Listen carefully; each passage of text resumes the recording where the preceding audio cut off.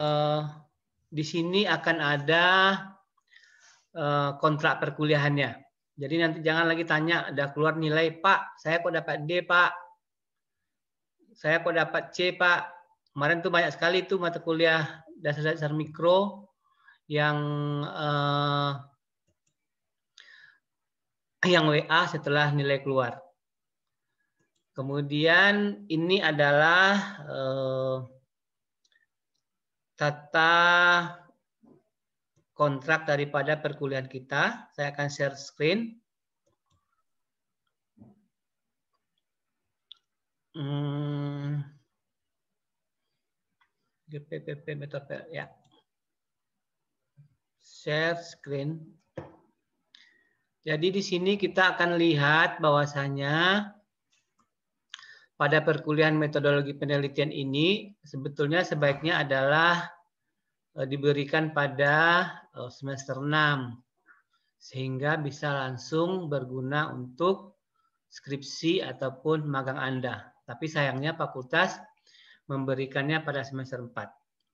Apa itu mata kuliah metodologi penelitian itu? Itu meliputi tentang pengertian penelitian, manfaat penelitian, etika penelitian, metode perumusan masalah, perumusan hipotesis, tujuan dan kegunaannya, merancang metode penelitian, merumuskan hasil dan pembahasan, merumuskan kesimpulan dan saran, mengutip dan menulis pustaka, serta teknik publikasi hasil penelitian. Publikasi hasil penelitian itu bisa dilaksanakan dengan bisa dengan skripsi, magang, tulisan di artikel ilmiah, kemudian tulisan di di koran-koran.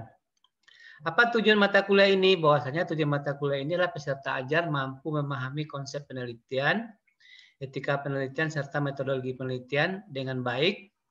Peserta ajar mampu menerapkan metode merancang, mempresentasikan proposal dan hasil penelitian, mampu membuat skripsi, dan mampu membuat proposal daripada penelitian. Mata kuliah ini akan ada dosennya, ada 9 kelas hari ini, semester ini. Ini adalah dosennya, tapi dibagi eh, berdasarkan daripada uh, kelasnya. Maksimum adalah empat orang per, per jurusan. Jadi penanggung jawab mata kuliahnya adalah saya. Jadi saya nanti akan mengumpulkan nilai-nilai dari dosen-dosennya, sehingga nantinya akan bisa kita uh, mengeluarkan nilainya. Uh, ketua kelas PSP siapa? Siapa nama ketua Zikri, kelasnya? Fikri ya? Fikri, Pak. Fikri nggak ada hari ini katanya lagi naik kapal. Oke. Materi yang perkuliahannya di sini adalah uh, bisa Anda lihat uh, ini perkuliahan pertama kita akan bahas pada hari ini tentang pendahuluan itu cara memperoleh kebenaran. Jadi Anda bisa dilihat di sini. Di kolom pertama ini adalah uh, minggu kapan masuknya. Kolom kedua adalah pokok bahasan. Kolom ketiganya sub pokok bahasan. Kolom keempatnya adalah pustaka yang bisa digunakan. Kemudian uh, nanti bisa ditambah lagi hal-hal yang lain bisa dicari ini. Kemudian kolom terakhir ini semester bawahnya ini nih ada tugas mahasiswa. Jadi semester 1 sampai eh, perkuliahan pertama sampai perkuliahan ke-15 16 itu ada tugasnya. Jadi tugasnya ini harus masuk satu hari sebelum minggu depannya. Ya, jadi uh, ini contohnya adalah cara memperoleh kebenaran bagaimana nanti kita akan jelaskan. Kemudian tugasnya adalah berilah contoh cara memperoleh kebenaran. Ini cari contohnya ya. Kemudian dikirimkan di Google Classroom. Kemudian juga dengan kuliah yang kedua juga demikian. Ini masih saya yang pegang. Pertama kedua saya. Kemudian juga demikian. Uh, seandainya Anda seorang peneliti, metode penelitian apa yang akan Anda gunakan di antara 28 metode penelitian yang akan kita jelaskan pada ininya. Pilihlah uh, dua apa alasannya. Kemudian pilih dua etika penelitian dan berikan contohnya. Itu contohnya sebenarnya. Sampai per judul eh, perkuliahan yang ketiga nanti yang masuk ini adalah Pak Saipudin. Judulnya dari ada juga contoh uh, tugasnya juga. Kemudian kuliah keempat juga demikian. Ada materinya, kemudian segala macamnya juga ada contohnya. Kemudian materi yang kelima juga demikian, tujuan penelitian, kemudian juga ada tugasnya. Jadi setiap setiap minggu itu ada tugasnya. kemudian tinjauan pustaka juga demikian. Umur lima tahun, minimal sepuluh artikel sebagai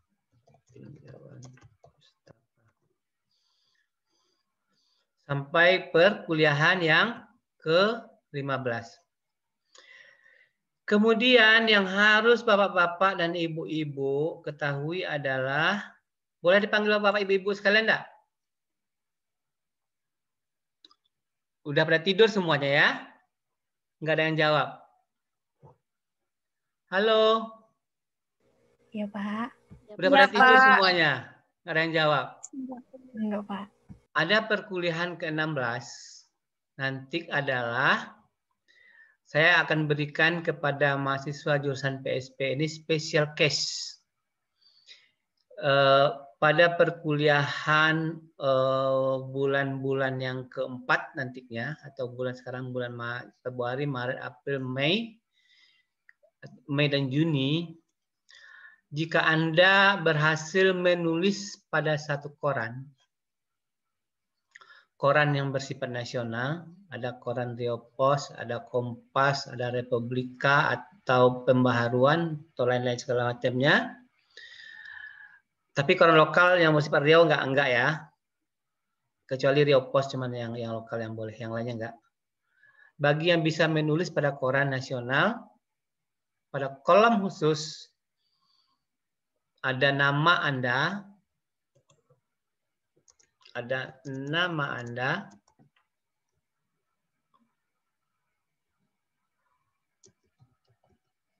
ada nama jurusan, fakultas, dan universitas, maka Anda akan bisa dikasih nilai A. Sorry, maaf, amin minimal. Kemudian kalau nilai nilai Anda ujian semesternya lebih daripada 60% akan berubah menjadi A. Ya. Jadi kalau hasil penjumlahannya nanti nilai akhirnya lebih daripada 60%. Kalau untuk orang yang tidak nulis itu kan harus 86 tuh baru dapat A. Kalau yang nulis cuman lebih daripada 60%, nanti akan diberi nilai A. Kalau yang dulu-dulu ini mahasiswanya mampu untuk melakukan penulisan ini. Tapi kalau nggak mampu nggak apa, ujian aja. Kemudian Anda bisa eh, mengikuti uh, ujian seperti semester yang biasanya.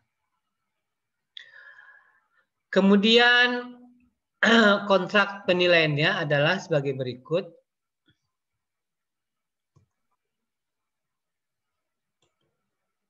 Aduh, turun lagi di bawah. Nilai absen sebesar 5%.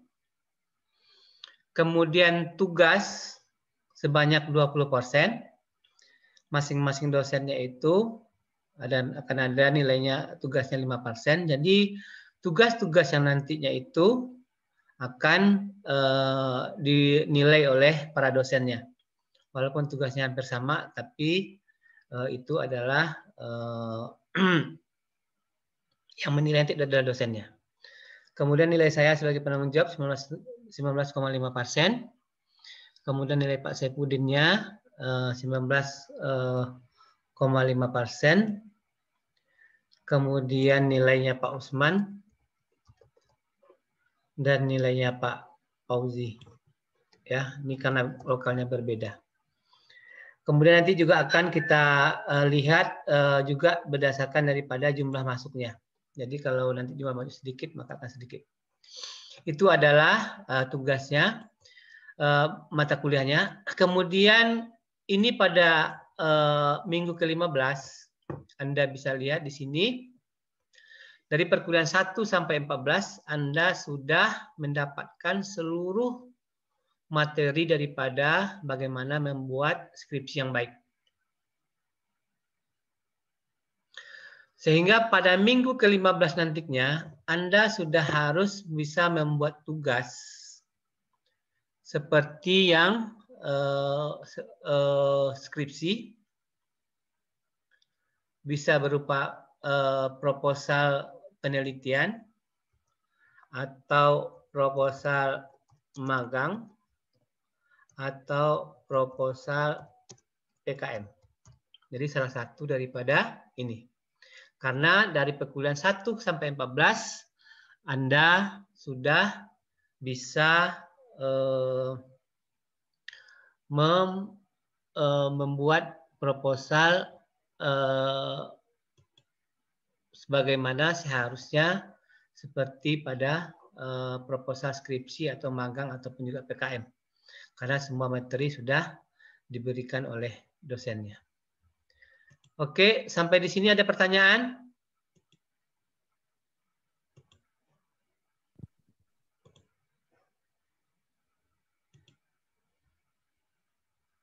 Sampai di sini ada pertanyaan nggak? Belum, Pak. Nggak ada ya, Mbak. Tugasnya ngerti kan? Nanti saya nggak mau lagi pada akhir semester, Pak, kok nilai saya dapat D, Pak, nilai saya dapat C. Ya salah satunya adalah tugasnya nggak masuk. Oke, sekarang kita akan masuk kepada materi perkuliahan. Kalau memang nggak ada pertanyaan, absen ada diisi semua? Sudah, Pak. Oke. Pak. Pak. Oke, kita akan masuk materi perkuliahan yaitu tentang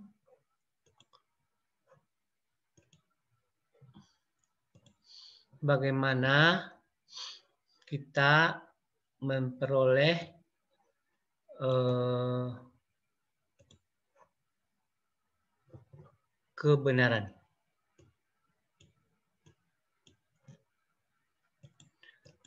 Jadi eh, sebagai manusia yang merupakan makhluk yang berakal budi dengan akal budinya, manusia itu mampu mengembangkan kemampuan spesifik manusiawi yang menyangkut daya rasa, cipta maupun karsa. Maka dengan akal budinya juga lah eh, kemampuan bersuara bisa menjadikan eh, bisa berbahasa dan berkomunikasi manusia mampu menciptakan dan menggunakan simbol-simbol dalam kehidupan sehari-hari sehingga seorang pakar Ernest Cassirer menyatakan bahwasanya manusia itu adalah animal simbolikum. Yang ingin saya tanyakan di sini, apa simbol yang Anda ketahui saat ini? Jika Anda tidak mengetahui adanya simbol, berarti Anda bukan manusia. Oke, siapa yang bisa jawab? Apa simbol yang Anda ketahui saat ini? Bahwasanya ciri daripada manusia itu adalah dia bisa berbahasa, dia bisa berkomunikasi, dan dia bisa menciptakan dan menggunakan simbol-simbol. Kalau dia tidak bisa menyatakan simbol, berarti dia bukanlah manusia. Jadi apa simbol yang Anda ketahui? Dita Salsabila. Iya, Pak. Apa simbol yang Anda ketahui?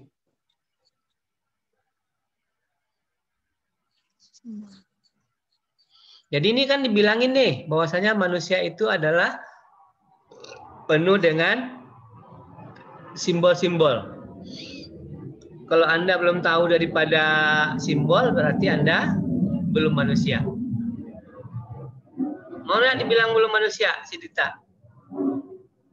Enggak, Pak. Nah, jadi apa simbol yang Anda ketahui? Eh, apotik Apotik Simbol simbolnya apa? kayak gelas sama ular itu, Pak. Oke, berarti kamu berarti kamu benar manusia ya. Siranti.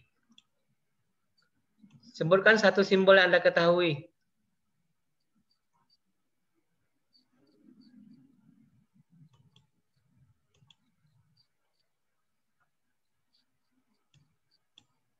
Ranti, sebutkan simbol yang Anda ketahui.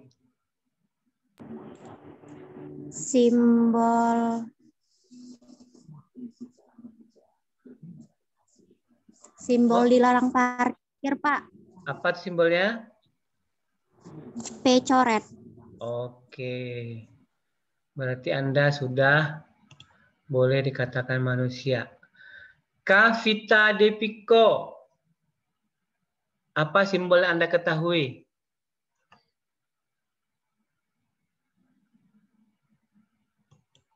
Mau dibilang manusia apa enggak?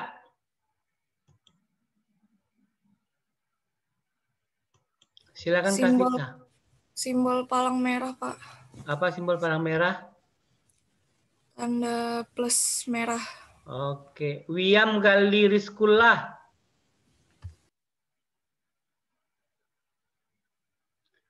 Si Wiam masih tidur dia. Ya Pak, Ya, apa simbol yang Anda ketahui?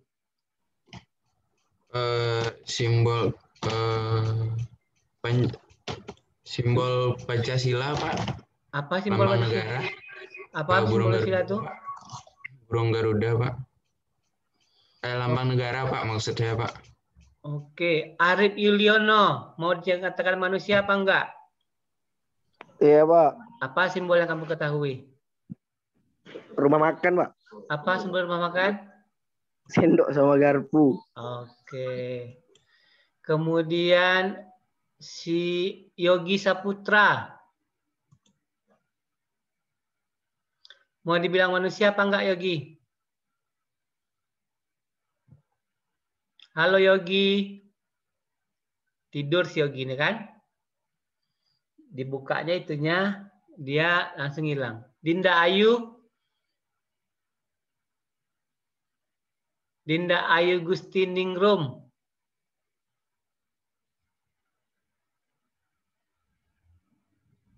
Hilang juga si Dindan ya. Delila Dwi Saputri. Oke, berarti dianggap libur mereka bertiga ya. Ditanya nggak jawab. Tidur dia. Oke, satu ciri manusia itu adalah manusia eh, sebagai animal of symbolicum. Jadi kalau kita nggak tahu-tahu simbol berarti kita sama dengan hewan yang lainnya. Oke, yang kedua, manusia itu selalu bertanya karena terdorong rasa ingin tahunya. Rasa ingin tahu tersebut sudah muncul pada awal perkembangan manifestasi dari hasrat ingin tahu tersebut, antara lain berupa pertanyaan. Ketika kita melihat sesuatu, maka kita akan bertanya apa ini, apa itu. Pernyataan selanjutnya akan berkembang menjadi mengapa demikian, bagaimana cara mengatasinya. Mungkin kalau kita bisa bayangkan hari ini, ketika Anda berjalan di simpang eh, jalan antara Fakultas Perikanan dan Fakultas Pertanian pada sore-sore jam 6 misalnya. Kemudian kalau Anda seorang eh, saya tanya ada ketemu kotak sebesar eh, 30 kali 40 cm yang dibalut dengan eh, kain emas, kira-kira apa yang akan Anda lakukan? Itu jam 6 sore misalnya, eh, pada hari kerja, nggak ada orang. Pas Anda keluar mau pulang, Anda melihat ada kotak di situ yang bersifat, eh, yang dibalut oleh eh, kain emas, apa yang Anda eh, akan lakukan? Halo? Ada yang mau jawab? Ya, Pak. Siapa yang mau jawab nih? Ini pada tidur semua ya? Enggak. Kalau kalau yang nggak nyala ininya saya eh, anggap nggak hadir ya. Kalau nggak nyala itunya saya bilang nggak hadir ya.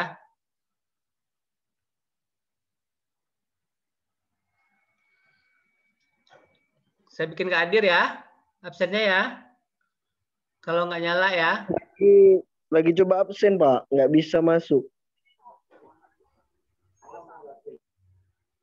Masa nggak bisa masuk? Karena kamu nggak pakai Pak. Dia Anda izin gitu, Pak. kamu nggak pakai Google Undria SID kali. Nggak tahu, Pak. Saya ganti dulu ntar, Pak. Jadi Pakai saya oke ntar, Pak. Ini kayaknya semua pertanyaan nggak ada yang dijawab. Kalau nggak nggak nggak hidup kameranya, saya anggap absen ya. Kalau kameranya nggak hidup, saya anggap Anda nggak hadir, ya. Karena nggak nggak di semua pertanyaan nggak ada. Oke, saya ulangi pertanyaannya. Ketika Anda berjalan jam 6 sore pulang ke kampus antara Fakultas Perikanan sama Pertanian, anda menemukan kotak yang berbalut dengan eh, kain emas. Kira-kira apa Anda yang lakukan? Penasaran dan bertanya, Pak. Siapa tadi Sukma ya yang jawab? Siapa tadi yang jawab? Iya, Pak Sukma. Ya, hanya sekedar penasaran. Terus apa lagi Anda lakukan? Kan nggak bisa Ambil bertanya sama orang. Orang-orang terdekat. Kan nggak ada orang kosong. Mencari siapa pemiliknya, Pak. Lah orang nggak ada gimana mencari pemiliknya? Ambil dan buka, Pak. Kalau Oke, aja. siapa tuh yang jawab tuh? Penasaran Arif, Arif ya? Ya, Pak. Oke. Ini akan habis waktu 10 menit lagi. Nanti akan kita ulang ya. Ininya apa namanya? eh Zoom-nya karena waktunya cuma 40 menit. Maaf, materi kuliah kita belum ada.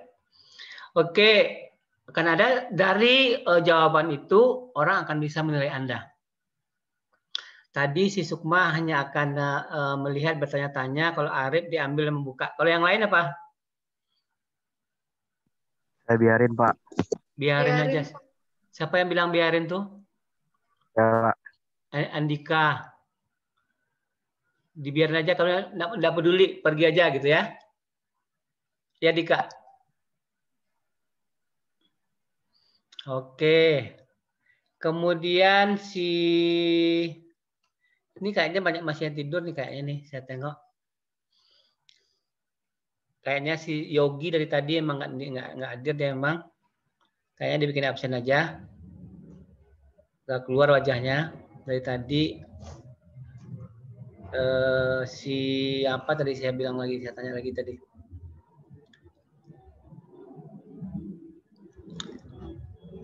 Eh, bagus. Bagus malah nggak jawab juga sama juga dengan yang tadi ya. Oke, yang ke eh, manusia sifat manusia yang kedua adalah ketika eh, mempunyai eh, rasa ingin tahu daripada manusia sehingga kita selalu akan menjawab, akan mencari tahu oh, apa apa saja yang ada di sekitar kita.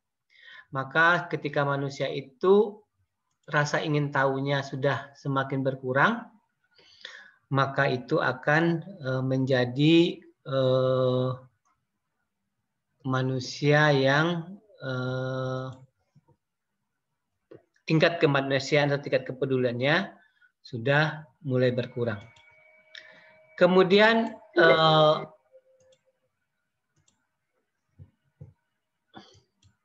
sifat manusia yang ketiga adalah bahwasanya eh, manusia itu mempunyai akal budi dan manusia itu berpikir abstrak, konseptual sehingga manusia disebut sebagai makhluk pemikir atau homo sapien. Dan Aristoteles menyatakan bahwasanya manusia itu adalah eh, haus akan intelektual atau intellectual curiosity.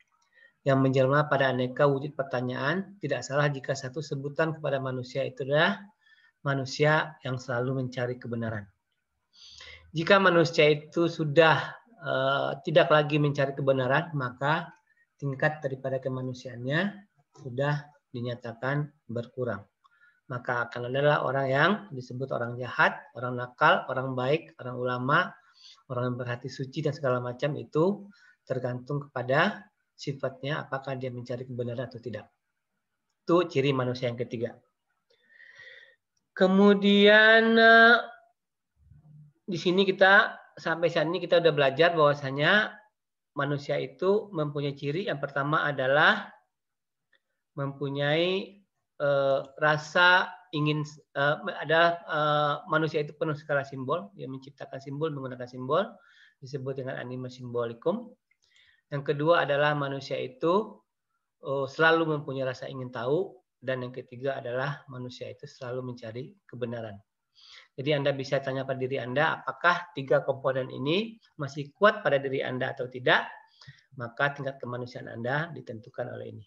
Tadi kayak si siapa tadi si Ferry ya, si Andika ya. Dia lihat barang maka dia lihat aja. Berarti rasa ingin tahunya sudah berkurang, maka tingkat kemanusiaannya juga boleh dipertanyakan ya karena sudah sudah mengalami kekurangan. Kemudian karena kita sebagai manusia selalu menjadi mencari kebenaran, maka definisi kebenaran itu apa? Kebenaran adalah ada yang tahu apa arti kebenaran?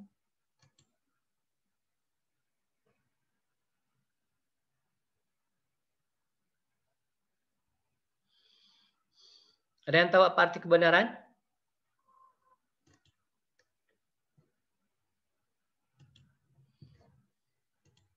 Jadi kebenaran itu adalah keadaan yang benar-benar cocok dengan hal atau keadaan sesungguhnya.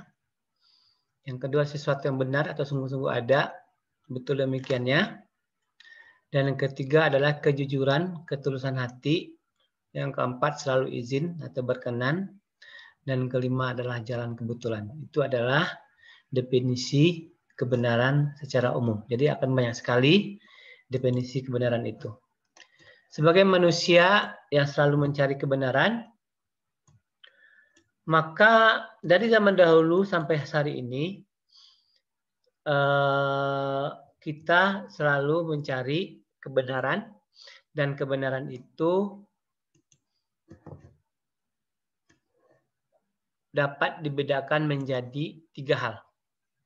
Yang pertama adalah kebenaran yang berkaitan dengan kualitas pengetahuan, di mana setiap pengetahuan yang dimiliki ditilik dari jenis pengetahuan yang dibangun. Pengetahuan itu berupa antara lain, jadi dibagi lagi tiga lagi, yaitu adalah pengetahuan yang biasa saja, disebut dengan ordinary knowledge atau kebenaran yang biasa. Semua orang juga sudah tahu Berarti contoh kebenaran yang biasa itu ada siang, ada malam, ada ada baik, ada benar, ada bohong, ada uh, jujur segala macam itu adalah kebenaran yang yang biasa saja.